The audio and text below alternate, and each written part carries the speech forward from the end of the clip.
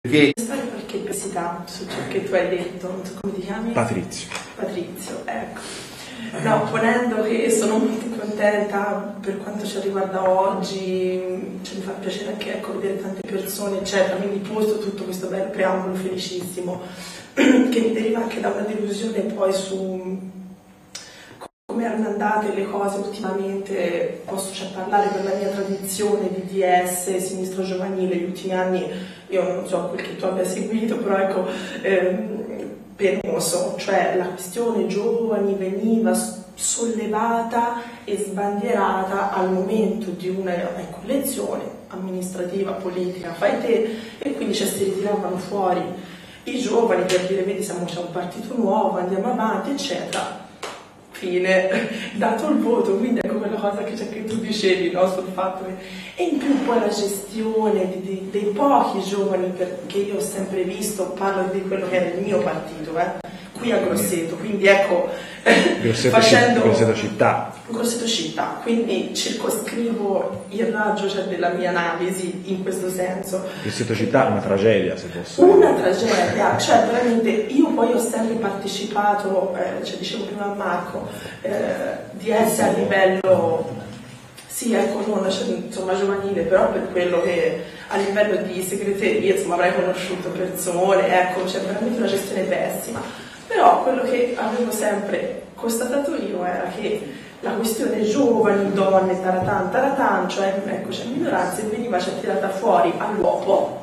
ovvero quando si cioè, trattava di darsi questa fascia, questa facciata di partito insomma, cioè, progressista e poi accantonata. Se ora cioè, le cose cambiano ben venga, quindi questo c'è sia chiaro. E sono contenta di sentire tanto entusiasmo, benissimo.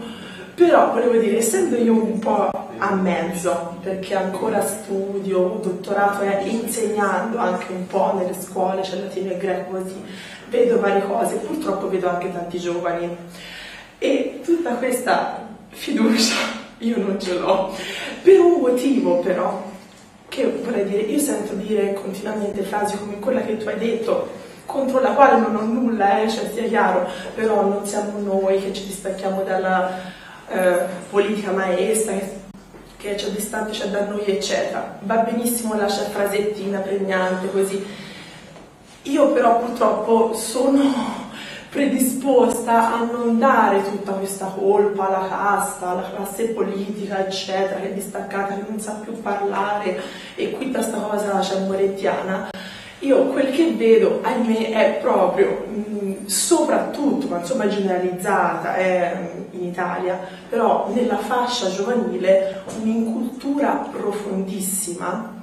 in cultura parlo di, in, in ogni ambito, dalla lingua, cioè dall'italiano alla storia, a, e questa questa cosa qui secondo me genera poi un distacco profondo dalla politica, perché quando dentro sei profondamente ignorante, e per profondamente, credimi, ci sto con i giovani, intendo profondamente,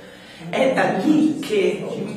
viene assorbita qualsiasi velleità di che dico ideologia, dico curiosità, dico desiderio di inserirsi in qualche organismo, dico desiderio di associarsi. Quindi ecco, se secondo me, parlo cioè secondo me, vivendo anche cioè, tra gli insegnanti ed anche però tra i giovani ed anche cioè, tra gli studenti, secondo me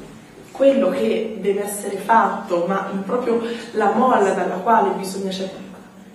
cioè partire, principiare, insomma, è cioè, riformare i giovani dal basso in questo senso, cioè io non do le colpe al, al politico che non sa parlarmi, potrà essere vero, parla il padre schioppa, capisco tutto, va bene, ma non è quello il punto, è che dal basso non si hanno proprio gli, gli strumenti per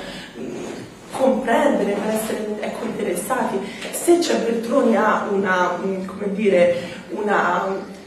caratteristica estremamente cioè, positiva è forse quella di, eh, abbassando molto il tiro, di avere una capacità carismatica di catturare un po' di attenzione in questo popolo di morti, soprattutto a livello giovanile. Eh, mi dispiace, ma io questo ce lo vedo, voi ce lo vedete, eh, ah, ecco, perché se no sembra facile.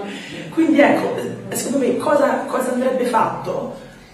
andrebbe fatta una cosa cioè, dal basso, proprio di, di, di, di ridare una cultura di ogni tipo, eh? non è che parlo di una cultura che sia cioè, settoriale, eh? perché secondo me è da lì che si creano cioè, gli strumenti eh, con le quali cioè, le persone possono poi accostarsi bene alla politica. Sulla cosa che lui, ecco, che tu Marco avevi detto prima, ehm, di andare a ripescare cioè, nelle scuole, di ricontattare un po' ecco, quelli che sono i rappresentanti di classe, istituto, eccetera, e ricreare qui un, una rete. Io sono, figurati, eh, eh, cioè ti adoro, sono d'accordissimo no? cioè, su questa cosa, perché ora basta, questa frattura tra società civile e politica ha, ha, ha stancato un po' tutti, penso. Ora, se questo è, è fosse cioè, possibile, secondo me benché cioè, la gente sia quella che è, quindi eh, cioè, facciamo come ci diceva Seneca, noi cioè, partiamo sfiduciati e disperati sempre, anche nella speranza, che è la cosa migliore no? che ti cioè, tutela dalla, dalla illusione pura.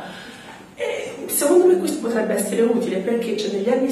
70, ma anche 80,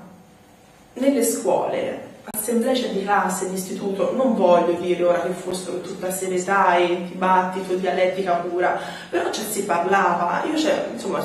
cioè, lo ricordo anch'io che c'erano persone che insomma ti sapevano già gestire un'assemblea con gli studenti che ti ascoltavano. Tu basta tu ora vada a nelle scuole un attimo, cioè, sono eh, ore di baldoria pura, pura, ma proprio senza neanche un minimo di contenuto, ma che sia minimo, minimo, perché la gente non frega niente. Ora, se però si riesce, come ci faceva il PC prima, poi PBS, eccetera, però di tessere a livello giovanile un, un minimo cioè, di relazioni, cioè, di ragnatela, insomma, cioè, con i, cioè, con i, rappresentanti, eh, per andare lì a ripescare un po' l'interesse cioè, dei giovani, anche prima che, prima che votino, non importa,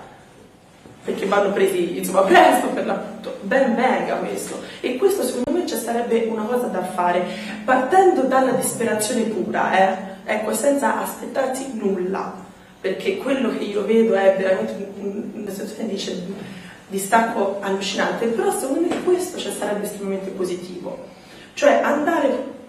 a ricontattare tutti questi cioè, soggetti che hanno ruoli all'interno dei singoli istituti, relazionarli cioè, tra di loro e con voi, insomma, con noi, con quelli più impegnati attivamente e cercare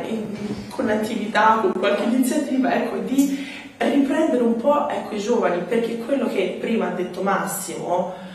è verissimo, quello che il, il vuoto che eh, si crea con eh, il dichiararsi di tanti apolitici, a me non me ne frega niente, a me non me ne frega niente, io faccio il mio, benissimo, io lì vedo il pericolo più grosso, lì c'è poi dove vanno ad appozzare eh, dittature di c'è pensiero, eh, pensieri completamente perversi alla Berlusconi eh, o completamente stupidi e rincitrulliti da cioè, televisioni e quant'altro. In quel vuoto lì tutto questo, poi dopo c'è fa Baldoria. Quindi volevo dire questo, cioè sui giovani, che secondo me la situazione è in questo modo, purtroppo per viverla e nasce, ecco questo volevo sottolineare, non nasce dall'incapacità di comunicazione dei politici, che avranno tutti i loro cioè, difetti, nasce dall'incultura profonda in cui vivono al giorno d'oggi le persone, per famiglia, perché completamente rintronati cioè, da quella macchinetta, perché non leggono più nulla neanche la gazzetta dello sport, quindi nasce da quello, ecco c'è il problema. Se poi partendo da questo cioè, si riesce a fare qualcosa, benissimo, basta.